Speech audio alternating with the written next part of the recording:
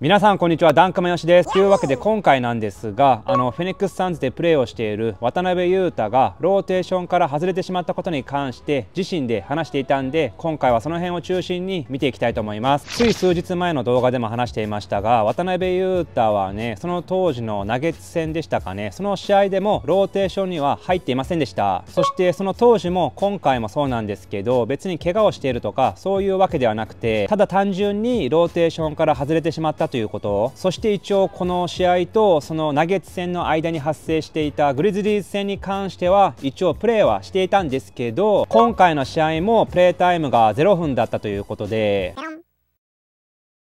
そう今回の試合はサンズにとってもとても大きな試合で今シーズンから初めて導入されていたインシーズントーナメントその1回戦をレイカーズと戦っていたんですけど、まあ、スコアがね106対103とかなりね接戦だったからこの辺もね影響したんでしょうね。というわけでここからはこの件に関して渡辺裕太が残していたコメントを順番に見ていきたいんですが。個人的には今シーズンそんなに自分の出来が良くないと思っている。めちゃくちゃ悪いかって言われたらそうでもないですけどいい試合が本当に少なくてずっと平均か平均よりちょっと下みたいな試合が続いている。去年からもっと成長した自分を見せれるんじゃないかっていうところとのギャップがあって周りから期待されてシーズンを始めるっていうのも今シーズンが初めてなんでその辺のギャップでちょっとまあ自信を持ってプレーはできているとは思うんですけどそこのギャップにちょっと自分自身が戸惑っている部分があったりする。でもこうやって試合にに出れなかったのは逆にいい機会だと思ってリフレッシュをするようにしています。また怪我人が1人か2人出たり万が一負け続けるようなことがあったらまたすぐにローテーションに加わると思いますし本当に何があるのかわからないんで試合に出られないのは本当に嫌ですけど今は自分の中ではプラスに捉えるようにしていますと。以上プレータイムがなかったことに関して渡辺裕太自身はこのように話していたんですけどなんというかちょっと前向きなような感じはするんですけどちょっとネガティブな部分もね感じますよね。っていうのはこの状況をプラスに捉えようとしていることはすごくね分かるんですけどその怪我人が出ることやもしくはそのチームの連敗が発生したら自分が出れると話しているところに関してはねちょっとその後ろ向きというかまあ気持ちは分からなくともないんですけどそこは個人的にはねその渡辺裕太自身で実力をつけて出るようにしていきたいとそういうふうにね言ってほしいですね。というわけでこの続きのコメントを見ていきますとシュートに関しては確率が悪いかって言われるとそんなに確率は悪くなくてだからそこまでめちゃくちゃ悪いシーズンかって言われたら別にそんなことはなくて逆にこれまでの僕だったらよくやってるっていう風に見られると思うと以上自身のシュートに関してはこのようなコメントを残していたんですけど確かに渡辺裕太のスリーポイントの成功率は今のところ36.5%そしてこれはサンズのスタメン以外ではトップクラスの成功率なんで確かにそんなに悪くはないんですよね。ただ同じシュートでもそのシュートの成功率自体がそんなに良くなくて今シーズン彼は今のところシュートの成功率が36.4%なんですけどこれは今のところチームでも最低記録。まあだからスリーポイントの成功率に関してはまあいいんですけど問題は他のシュートそのこの前外していたゴール下のレイアップだったりフローターだったりあとはミドルシュート。少なくともその辺に関してはまだまだ改善の余地はあるかと思います。というわけでこの続きのコメントを見ていきたいんですけど。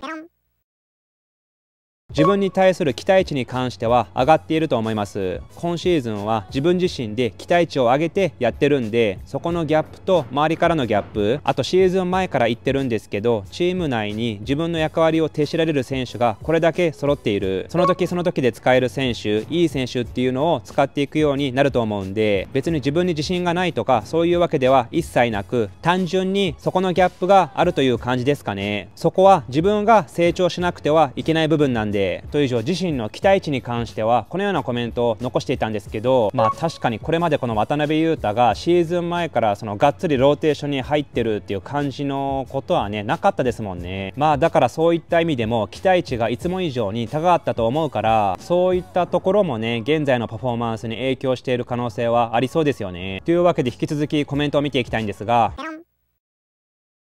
これからも成長し続ける必要はあると思います。それができないともうこの世界には残れない。別にこれまでもそうやってきましたしまたやり直し。自分自身では結構想定内というか。逆にむしろよくここまで自分を使ってくれたなっていう感覚なんでだから焦りみたいなものはないですし常にしっかりと準備をしてまた次出番が来たらしっかり自分のことをやりきるようにしていきたいと以上今後の成長に関してはこのようなコメントを残してたんですけどまたこれもさっきと同じ理由でこれを想定内って自身が言ってることもちょっと個人的にはうーんって感じです。いやそのローテーションから外れることをね想定内にしちゃったらダメでしょ。ううんだからそのシーズン開幕前からある程度そのローテーションに入るってっていうことが決まっていたんでそういったこともあってちょっといつも以上にねハングリー精神がなくなっちゃったんですかね。というわけで引き続きコメントを見ていきますと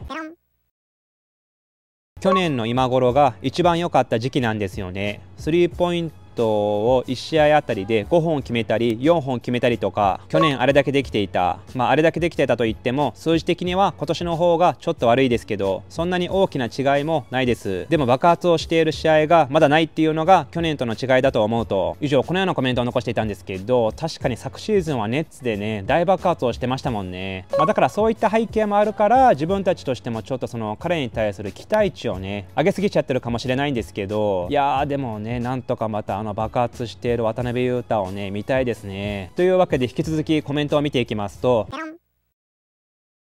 使われることに越したことはないですけどこのままずっと同じように使われててもずっとこんな感じの自分が続いちゃうんじゃないかなっていう心配もあったんで逆に一回こうやってまた自分の頭を冷やすというか本当にリセットをする感覚です今は。とこのようなコメントを残していたんですけどうんやっぱり渡辺裕太といえばこれまで逆境の中で成長しまくってきたんでやっぱり今一度そういった逆境になった方がいいっていうのは彼自身もね感じているようですね。というわけで引き続きコメントを見ていきますと崖っぷちにならないとダメなんです。だからシーズン序盤から試合に出れてちょっとぬるすぎました。プレシーズンからちょっとぬるま湯に使った。いや使ってはないですけど環境がこれまで以上にちょっとぬるかったんでと以上このようなコメントを残していたんですけどうんやっぱりねさっきと同じ理由でちょっと状況がねこれまで以上に良くなりすぎてハングリー精神がね少なくなっちゃったんでしょうね。というわけで引き続き彼のコメントを見ていきますと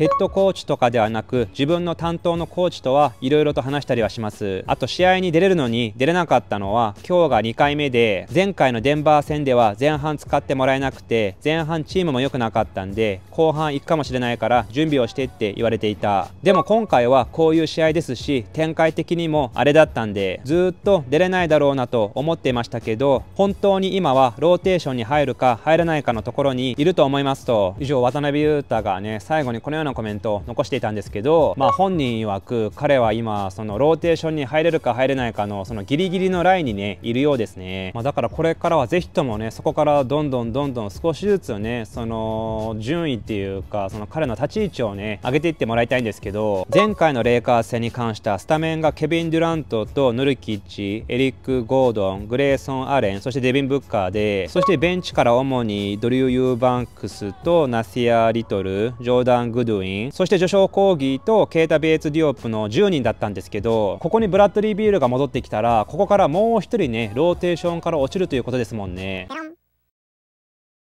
まあ、だからそうなってくると渡邊雄太にとってはねいよいよ厳しい状況となってくるんですけどいやもう本当に現実的な話をするととこの同じポジションのキータ・ベイツ・ジョップ、ジョシュ・オコーギー、ナシール・リトルそしてあとはチメジー・メトゥもいますけどもうこの辺よりも使えるっていうところをね見せていくしかありませんよね。そしてまあさっきもちらっと話したスタッツ的な部分をね見ていきますと確かにスリーポイントの成功率に関しては36.5%そして1試合あたり3.5本打ってるんですけどここに関してはねまあいいですよね。でも問題はさっきも言ったようにシュートの成功率でこれがサンズのロスターの中では最下位でその数字は36.4%、まあ、だから本当にねこの前もイージーなそのゴール下なんかを外していましたけどまあその辺りが本当に改善が必要ですよね。でもまあ彼は普通の選手と比べてスリーポイントを打つ率が高いから、まあ、ここが低くなってくるのはしょうがない部分もあるんですけどそれでももう少しね改善してほしいところですね。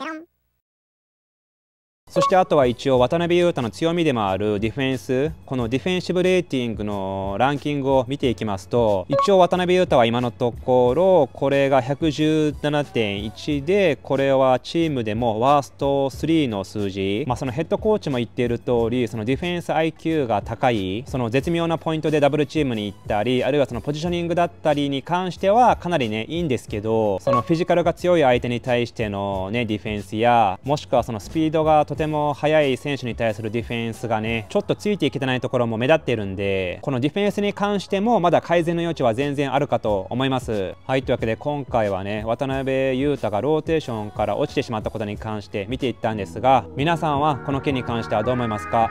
コメント欄で教えてください。はいてな感じで今回は以上です。ご視聴ありがとうございました。